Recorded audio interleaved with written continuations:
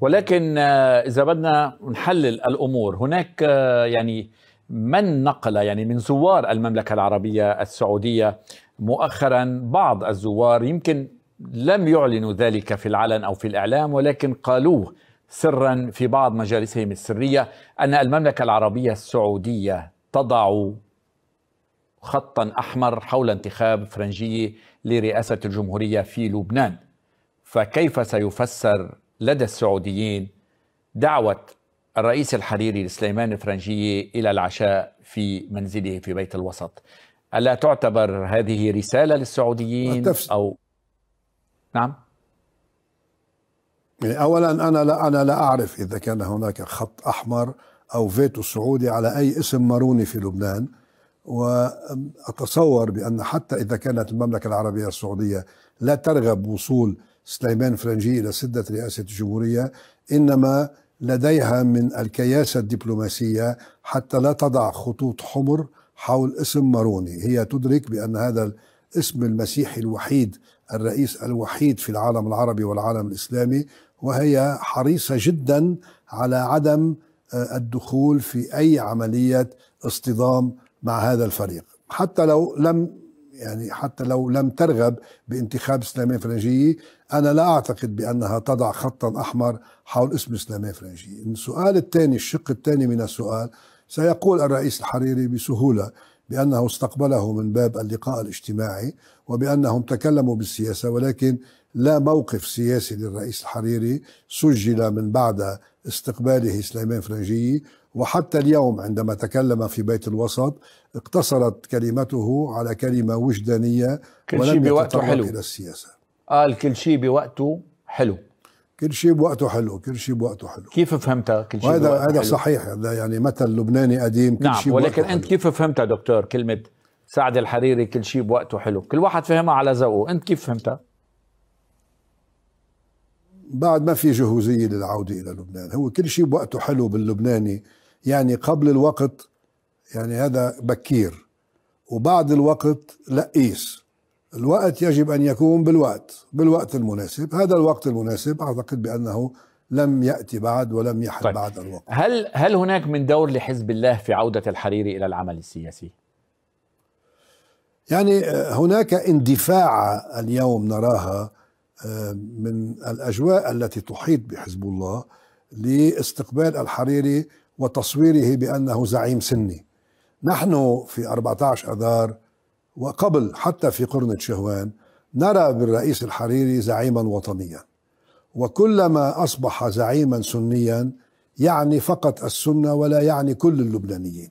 نعم. نحن نريده أن يعود إلى المساحة الوطنية المشتركة وأن يكون زعيما لجميع اللبنانيين ولمصالح جميع اللبنانيين وعابرا لكل الطوائف. أعتقد بأن قاموا بجهد استثنائي لتصويره بأنه زعيم سني وهو ارتضى بأن يصور نفسه بهذا بهذه الحلة وبهذه الصورة. ووجود سليمان فرنجي يوسف فنيانوس علي حسن خليل قبل على تلفزيون الجديد حتى ألا عون يعني كل الجو الذي هو جو يتعامل بارتياح مع حزب الله. يرحب بالرئيس الحريري وكأنه المنقذ وكأنه القادر على إخراج البلد من هذه الأزمة. الرئيس الحريري بالنسبة لي وبالنسبة لغالبية اللبنانيين شخصية محترمة جدا وشخصية نعتبرها بأنها قادرة على لعب دور وطني كبير. تصغير دوره إلى الدور السني فقط هو ضرب فعالية الرئيس الحريري. طيب آه برأيك آه يعني لماذا وفد من القوات اللبنانية زار آه بيت الوسط ولم يزره سمير جعجع شخصيا؟ يعني اليوم العلاقة هي علاقة كانت أكثر من ممتازة بين الشخصين بين الحريري وجعجع. اليوم لماذا يرسل جعجع وفدا للقاء الحريري ولا يذهب بشخصه؟ هل برأيك أن الحريري يرفض لقاء جعجع اليوم؟ لنفس الموضوع اللي حكيت عنه من شوي. لا أكيد لا أكيد لا. آه، يعني أنا أعتقد بأن القوات حريصة أن لا يتم انتقادها باليوم الثاني بأنها وصل شخصية بحجم الرئيس رفيق سعد الحريري وكانت على علاقة ممتازة معه ولا تزال وبأنها لم تزره. أما انتقال آه، الدكتور جعجع من معراب إلى بيروت فهذا شيء يعني يخضع إلى ظروف أمنية لا أعرف إذا كانت آه، يعني متوفرة حتى ينتقل الدكتور جعجع وهذا لا يعني بأن ربما لن يكون هناك اتصالا هاتفيا بين الشخصين بين الرجلين أنت والدكتور جعجع كيف الأوضاع معكم هالأيام؟ على المستوى الشخصي ممتازة على المستوى السياسي منا منيحة وبرأيك دكتور جعجع من الأشخاص اللي بيفرقوا بين الشخصي والسياسي؟ إيه يعني أنا بعرف إنه يعني آه، علاقتي معه يعني علاقة طويلة جدا منذ العام 1989 عندما أنا كنت طبيبا في في جبيل في خضم الحرب القائمة بين الجيش والقوات اللبنانية واستمرت هذه العلاقة مع آه، السيدة زوجته حين كان في المعتقل.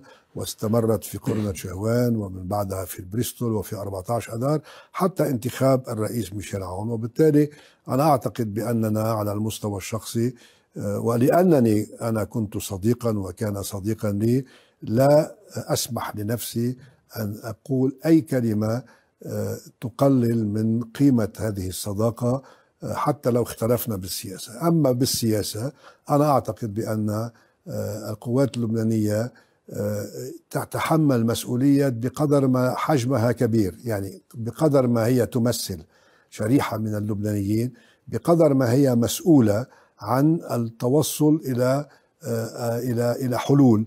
وحتى هذه اللحظة لا أرى بأن هناك فعلا آه، حركة أو مبادرة سياسية قادرة على إخراج البلد من هذا من هذا المأزق. واللوم هي بأن على قدر أهل العزم تأتي العزائم ولم أرى بأن هذه القدرة كانت جاهزة. دكتور سعيد لو رن تليفونك هلأ وطلع على الطرف الآخر الرئيس سعد الحريري بده يحكي معك. شو بتقول له؟ أكيد بحكي معه. إيه بعرف قال لي بدي أشوفك ساعتها أنا بروح لعنده بس أنا لن أطلب موعد. آه إذا حكيك بتروح لعنده. إذا ما في عتاب. اذا اتصل طبعا إذا اتصل أكيد إذا اتصل بالرئيس سعد الحريري وهو لن يفعل. آه، أنا على كامل وقال لي أريد أن أتكلم معك أو أن أصارحك أو أن أن, أن نكشف أوراقنا أو نستعيد مرحلة من مراحل النضال المشترك. أنا على كامل الاستعداد ولكن أنا أعتقد بأن الرئيس الحريري آه، استبدل آه، يعني يعني بدل ما أن يلوم من يجب أن يلومه والذي أوصله إلى ما وصلت إليه الأمور في العام 2017 استسهل لومي واستسهل إلقاء اللوم علي وأنا يعني أعتبر بأنها إهانة لي لأنه شيء من استوطاء الحيط. هذا بيت القصيد.